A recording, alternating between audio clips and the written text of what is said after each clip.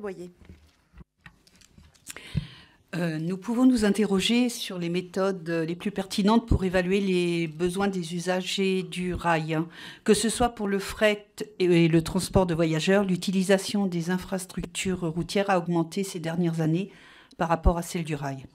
Alors que le transport ferroviaire s'avère moins polluant que la route. Cet état des lieux est dû en grande partie au, au défaut d'investissement et d'entretien des infrastructures ferroviaires. Cette baisse de la fréquentation justifie à son tour une politique peu volontariste, voire régressive, en matière d'offres ferroviaires et alimente donc un cercle vicieux.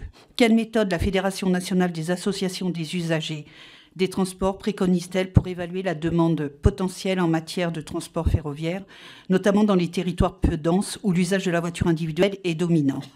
Pour remarque, il est extrêmement difficile, voire impossible, d'avoir les chiffres officiels de fréquentation des lignes TER, notamment en, ligne- en région PACA.